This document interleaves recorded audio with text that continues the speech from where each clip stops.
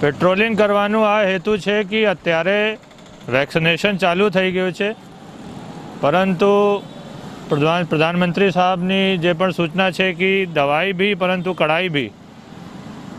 Vaccine અત્યારે medical પ્રોફેશનલના ચાલે છે.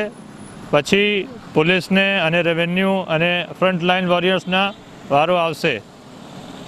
પરંતુ આ દરમિયાન કોઈ પણ રીતે માસ્ક સંબંધી બેદરકારી ના થાય, આ બાબતે ઓચક નિરીક્ષણ કરવામાં આવેલ છે મારા ટીમ સાથે.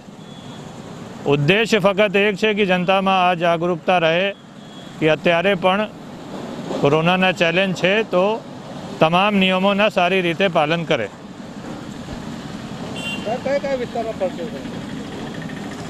પારસ સર્કલથી નડિયાદ પોલીસ સ્ટેશનથી પારસ સર્કલ સુધી અને અભી સંતા પાર્ટી પ્લોટ અને પશ્ચિમ વિસ્તારમાં પણ આ પેટ્રોલિંગ અધિકારીઓ સાથે કરવામાં આવશે.